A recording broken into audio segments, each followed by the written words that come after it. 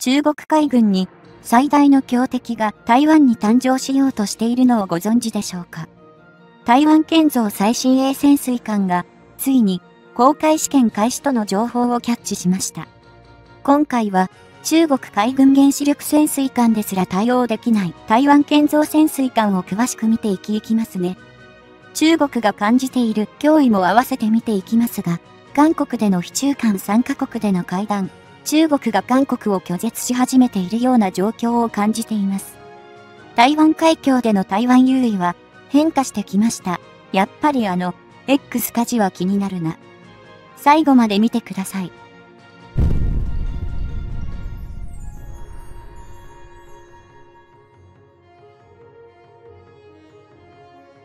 2024年5月23日から24日にかけての2日間、中国の人民解放軍の東部戦区に所属する部隊が、台湾本島をぐるりと取り囲む形に展開し、軍事演習を実施。その目的は、台湾の独立を主張する動きへの牽制にあるとめされた。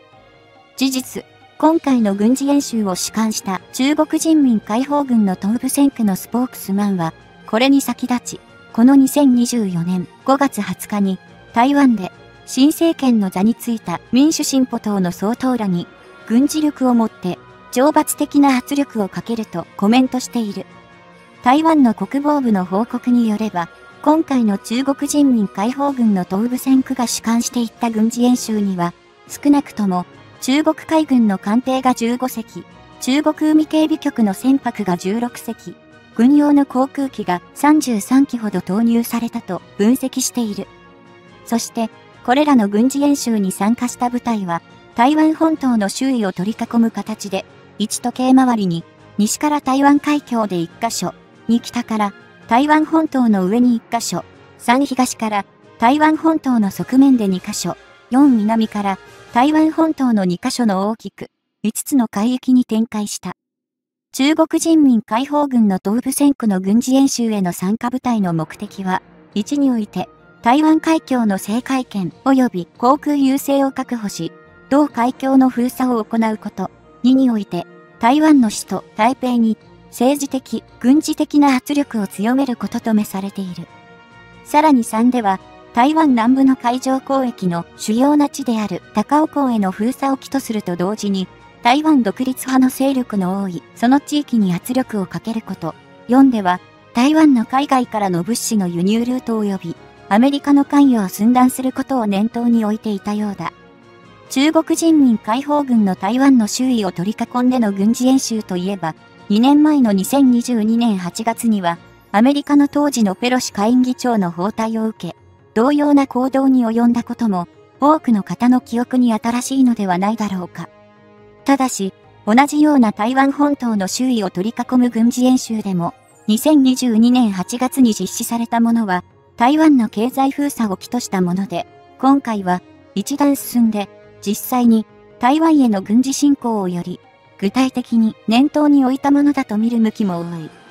このように、中国が台湾に対して軍事力の行使を含み、明確に圧力の度合いを高めていることに疑いの余地はないが、台湾で新政権を担う民主進歩党の頼行清徳総統は、その就任時に以下のコメントを発して警戒心を示していた。頼行清徳総統のコメントの内容とは、まず、1台湾自身の軍事力を強化すること、次に、2台湾の経済的な安全保障の体制を構築すること、そして、3アメリカは元より世界的な規模で民主主義を採用する国々との連携を強化することの3点だった。これについて、特に3のアメリカは、元より世界的な規模で民主主義を採用する国々との連携を強化することは、当然、近隣国として日本もその輪の中に参画し、同じく中国によって南西諸島方面に脅威を抱える国としてより積極的な関与が必要になるだろう。ただし、こうした3点目については、世界の民主主義国家とは、いえ、アメリカにせよ、日本にせよ、西側のヨーロッパ各国にせよ、中国との間に大きな貿易を行っているという現実があり、それを覆す政治的な判断が可能かとの指摘もある。あくまで個人的な意見ではあるが、ロシアによるウクライナ戦争を目の当たりにしている現在においては、ロシアや中国といった国々のあり方が、我々の西側諸国にとっては、最終的に相入れない存在である点を再認識することは必須であろう。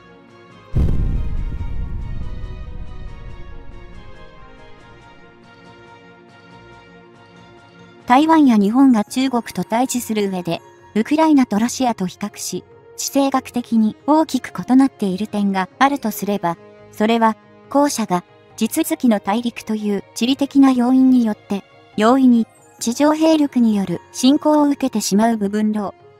幸いなことに、台湾や日本は中国との間を海によって隔てられており、この自然の海という存在が大きな軍事上の障壁となって、そうそう、たやすく中国人民解放軍が上陸作戦を敢行してくることを困難にしてくれている。これを押して中国が台湾や日本の領土の占領を起として軍隊を上陸させようとするには、その部隊を収容して展開させるに足る揚陸艦を多数準備する必要があり、それらの揚陸艦を護衛する艦艇や航空機の支援が欠かせない。そこで、重要な役割を果たすと思われるのが、日本においては、海上自衛隊の現状では、22隻体制の潜水艦隊の存在であり、日本に接近してくる中国人民解放軍の艦艇の行動を、それらを用いて妨害することが用になるだろう。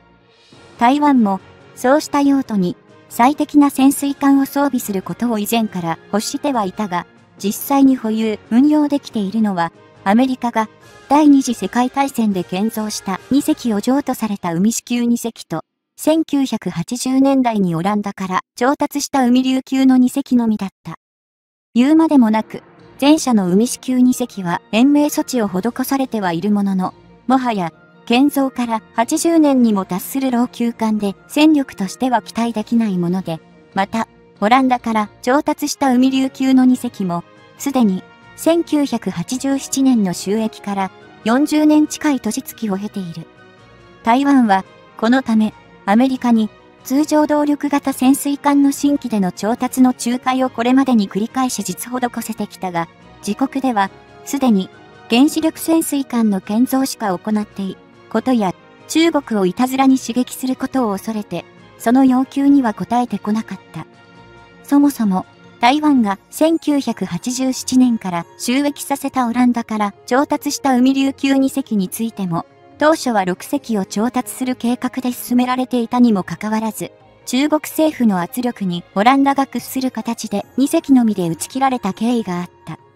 この海流級は、オランダ本国では、ツバールトフィス級として、1960年代から1970年代にかけて、同国でも2隻が建造されたものだが、すでに1995年までには、この2隻も退役済みで、今は1992年から1994年にかけて、大体艦のワルラス級を4隻運用している。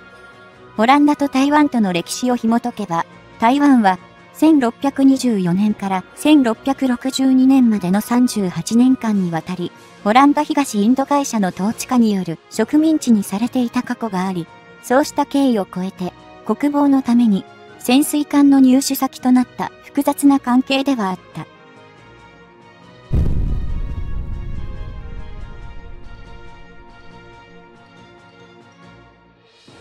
いずれにせ、よ2010年代の台湾は、圧倒的な経済力の発展から、海軍力を大幅に増強してきた中国に対抗すべく、どこからも入手ができなくなった潜水艦を自力で建造することを決断。2015年に新造する計画を本格始動させた。こうして、台湾が初めて自国での建造に取り組んだ潜水艦は、古代中国の伝説に登場する巨大魚に呼んで、ハイ君と名付けられ、台湾国際造船において、2020年11月に寄港、2023年9月に浸水し、実戦配備は2025年中止めされている。ハイ君は、基準排水量が2500トン以上、全長が推定でおよそ70.0から80.0メートル、全幅がおよそ8.0メートル、X 舵を持ち、この艦隊にディーゼル機関とリチウムイオン蓄電池と発電機を備えたディーゼルエレクトリック方式の通常動力型の攻撃型潜水艦である。ハイ君は主兵装として 533mm 魚雷発射管6門を艦首部に備え、ここからアメリカ製の長魚雷である MK48 や UGM48 リッターハープーン追艦ミサイル等を運用可能で、国産の中山科学研究員製のよろず像機雷も散布可能とされている。